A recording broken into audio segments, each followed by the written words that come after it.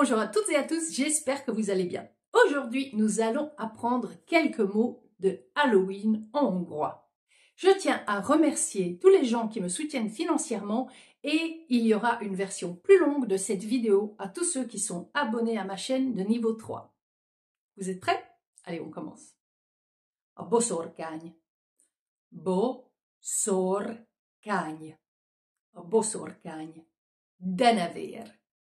De, ne, vér. Denevér. A csontváz. Csontváz.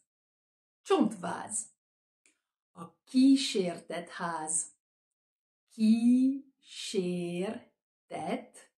ház. Kísértett ház. A szellem.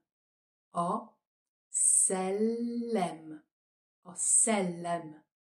Ou on peut aussi dire pour fantôme kísértet.